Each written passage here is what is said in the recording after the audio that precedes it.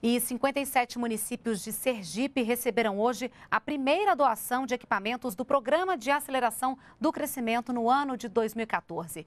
São caminhões caçamba e pás carregadeiras que vão atender mais de 340 mil moradores do meio rural. Os equipamentos vão ser usados para recuperar estradas e acelerar obras de infraestrutura hídrica. Ao todo, foram investidos 15 milhões de reais.